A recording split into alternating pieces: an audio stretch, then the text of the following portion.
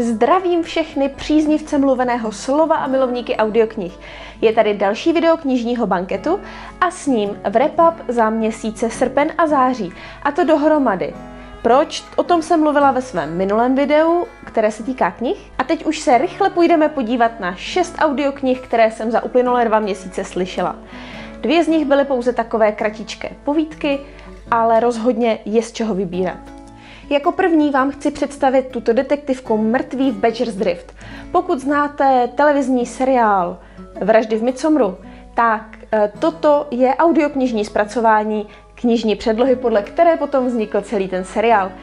Je to tedy úplně první případ šéf inspektora Toma Barnebyho, se kterým se můžeme setkat. Tuto audioknihu načetl Vladislav Beneš, který není žádným z hlavních dabérů e, tohoto seriálu, nicméně i tak se do role nejenom toho inspektora, ale i všech ostatních velmi příjemně vžil. Tato audiokniha se moc dobře poslouchá. Samotný případ nás zavede na anglický venkov, jako v každém seriálovém díle i tady zemře několik lidí za nesmírně záhadných okolností a vy spolu s detektivy můžete hádat, jak to celé bylo. Celou recenzi této audioknihy najdete u mě na blogu, takže vám dole nechám odkaz. V tuto chvíli jenom podotýkám, že tahle audiokniha se mi moc líbila.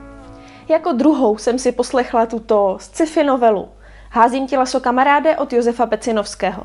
Načetlý Martin Mišička, což je můj oblíbený vypravěč a na rozdíl od stejnojmené knihy, tato audiokniha obsahuje pouze tu titulní povídku eh, s názvem Házím ti laso kamaráde. Eh, v knize najdete těch povídek od Pecinovského daleko více. Martin Mišička se tady vžívá do role člověka, který se někomu znelíbí a ten někdo je velmi bohatý a tak si může dovolit na něj hodit laso. Laso je takový dlouhý had, který ho pronásleduje všude po ulicích a pokud ho dostihne, tak ho zahubí. Vypravěč tohoto příběhu tedy dělá různé pokusy, jak tomu lasu uniknout a opravdu velmi zajímavý je závěr. Rozhodně, i pokud nemáte moc rádi sci-fi, tuto kratičkou hodinu a půl trvající audioknihu vám můžu vřele doporučit. Dále u mě nastal čas. Eh, těmito audioknihami se snažím doplnit si své vzdělání, protože přiznávám bez mučení, i když velký fantazák, eh, knihy o zaklínači se mému dospívání vyhnuly. Takže se k ním dostávám až teď a to díky audioknihám, které čte Martin Finger. Domnívám se, že jeho hlas se výjimečně hodí na roli zaklínače. Trochu horší je to v těch ostatních rolích. Například 13-letou dívku Ciri. Uměla bych si představit malinko jemnější podání. Nicméně na to kvantum knih, které tento herec musel přečíst, eh, je to přes 2000 stran dohromady, vyšla s ním vlastně celá série, je to úctyhodný výkon. V času opovržení se tedy setkáváme nejenom se zaklínačem a jeho chráněnkou. Příběh je plný intrik a soubojů, samozřejmě. Nejvíce z této knihy se mi líbila právě čarodějnická hostina a potom samotný závěr, eh, kde má Ciri takové své vlastní dobrodružství. Víc vám teď prozradit nechci, rozhodně však tuto audioknihu doporučuji vašim uším. A v podstatě jediné, co mi tam v zásadě chybělo, byl Jarben Zigrin.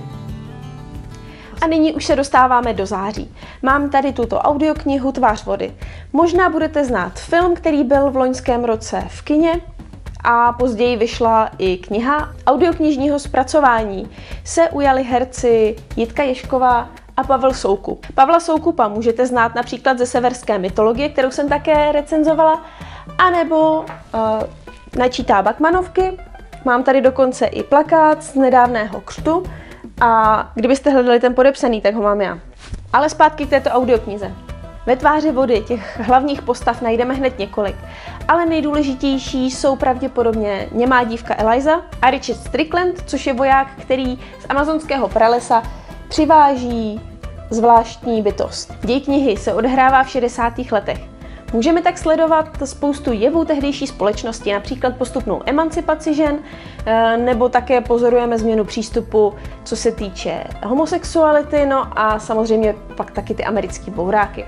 Jitka Ješková čte všechny ženské party, to znamená nejenom Elizu, ale i Stricklandovu ženu. Je tam Elizena kamarádka Zelda, se kterou chodí v noci uklízet právě do onoho tajného střediska, kde se nachází e, tento tajemný tvor. Pavel Soukup naproti tomu čte všechny mužské party, což je tedy vedle Stricklanda i uh, Elizen kamarád Giles, a nebo také jeden z vědců z toho střediska. I když se ten příběh rozvíjí velmi pozvolně, Závěr této knihy mě naprosto dostal. Byl to jeden z těch příběhů, ze kterých jsem prožívala knížkocovinu. Jedná se tedy o fantazy ale jenom velmi mírné, takže pokud fantastice jinak neholdujete, této audioknihy se rozhodně bát nemusíte. Není to něco, co by vás zahltilo magií a elfy. Celá magie spočívá v tomto tajemném tvorovi. Za mě tedy jednoznačné doporučení. Recenzovala jsem tuto audioknihu pro naposlech.cz. Odkaz vám opět nechám dole a teď už můžeme jít na další audioknihu. A to je Click Clack the Rattleback od Neila Gaimana. Kratička, jenom 12-minutová povídka, kterou jsem si už v roce 2012 stahla z Audible.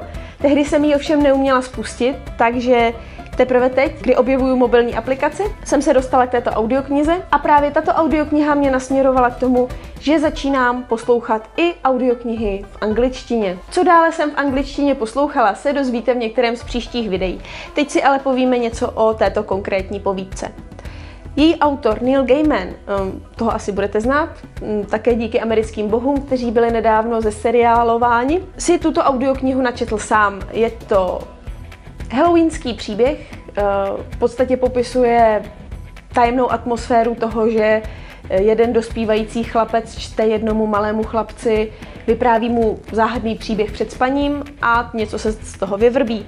Na této audioknize je ovšem nejzajímavější právě ono pozadí tato povídka a tedy posléze audiokniha vznikla um, z dobročinných účelů.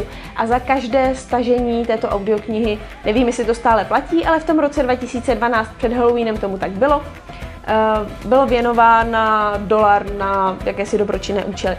Na tom už teď asi nezáleží, každopádně pokud na tuto jednohubku narazíte, rozhodně se jí nemusíte vyhýbat, už prostě protože hlásný Gamena. Je to tedy jeden z těch velmi zajímavých případů, které vám umožní prověřit vaše schopnosti porozumět anglickému mluvenému slovu bez toho obrazu jako u filmu.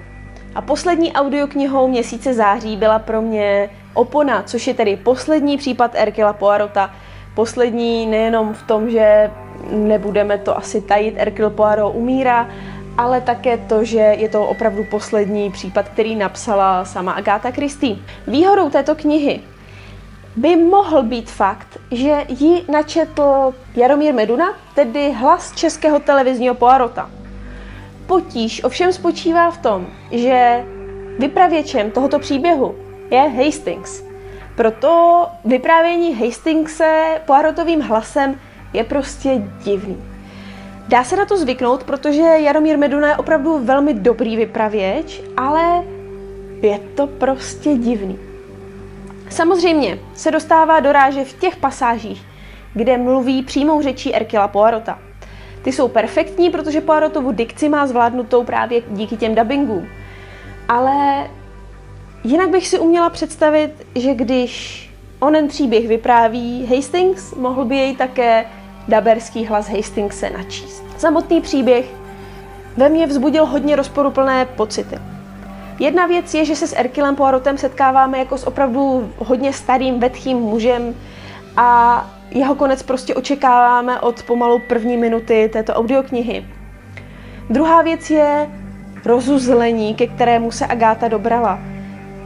Já jsem mu nemohla uvěřit. Přesto, nebo možná právě proto, tuto knihu doporučuji vašemu zájmu.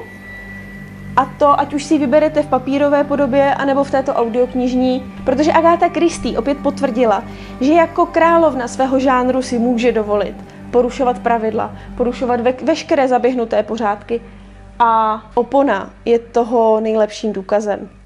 A co nás tedy čeká v příštím vrepapu, co poslouchám tento měsíc nebo se chystám poslouchat? Mám v plánu jedno video právě o další anglické audioknize, kterou jsem poslouchala a v tuto chvíli se pokouším prokousat touto přes 20 hodin trvající audioknihou, což je pokračování problému tří těles, ze kterého jsem byla totálně odvařená. E, opět ho čte Zbyšek Horák, ale je to náročné, takže pokusím se to zvládnout, ale nezaručuju. Další audiokniha, kterou mám v plánu si poslechnout, je tato čerstvá novinka od Margaret Atwoodové, tedy novinka v audioknižní podobě, alias Grace. Tuto knihu načetli Lucie Pernetová, Pavel Batěk, Martin Zahálka a další.